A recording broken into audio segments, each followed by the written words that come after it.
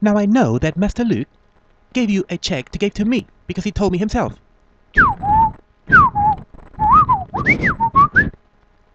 Now, whatever do you mean that you went to the casino?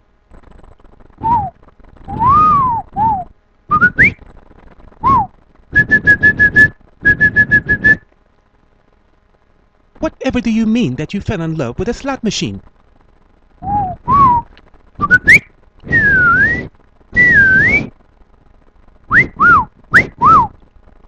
Yes, that was my first love, a vacuum cleaner. But she was an industrial vacuum cleaner at that.